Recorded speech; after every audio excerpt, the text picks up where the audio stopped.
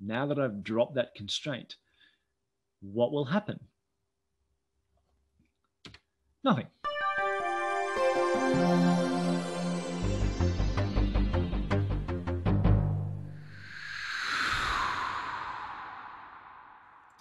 Here's a new table called My Tab. It's you know just a one column thing. Here's the world's most trivial view sitting on top of it. Create my view called VW. Select star from My Tab where x is greater than zero with the check option, and I've given that check option a named constraint.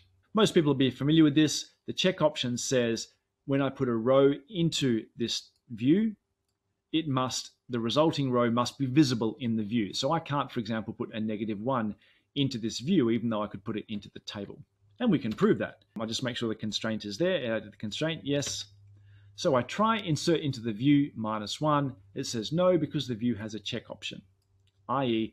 any insert I do via the view must be visible when I come back via the view.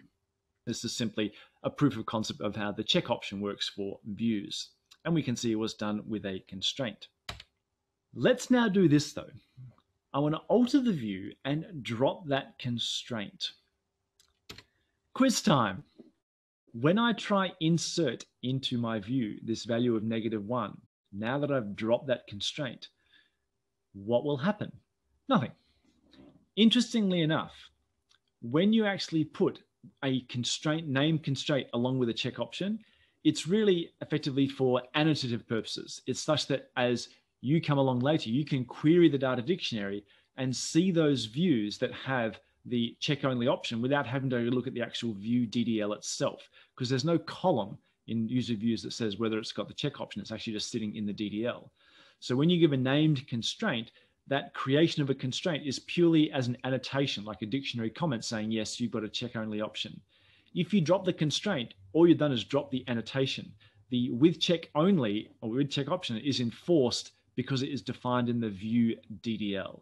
But just an interesting one there for you that, yeah, the uh, don't think about dropping the constraint because it doesn't actually change the check option of the view itself.